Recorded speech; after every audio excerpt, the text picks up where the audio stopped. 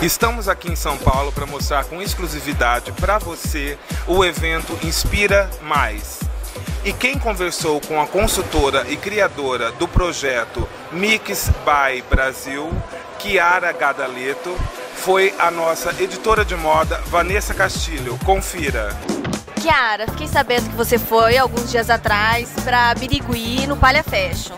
Como você ficou sabendo da Eunice, do Palha Fashion? Como foi? Na verdade, é uma indicação do Sebrae. Então a gente já sabia que iria encontrar a Eunice. Nesse projeto, ele é específico para que área? Só calçadista ou a gente pode se espelhar na roupa, na bolsa?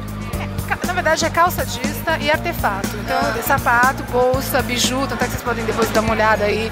É, tem um monte de, de acessório, brinco, colar, pulseira. O que, que é ser uma eco girl? Ó, eu tô adorando, tô achando tão divertido essa história. Chega de girl, gente, chegou a vez das Eco Girls. É, as Eco Girls, por começar, elas pensam na hora de consumir. Elas são consumidoras ativas. Sendo ativas, elas se questionam. Questionar como? Que marca eu estou consumindo?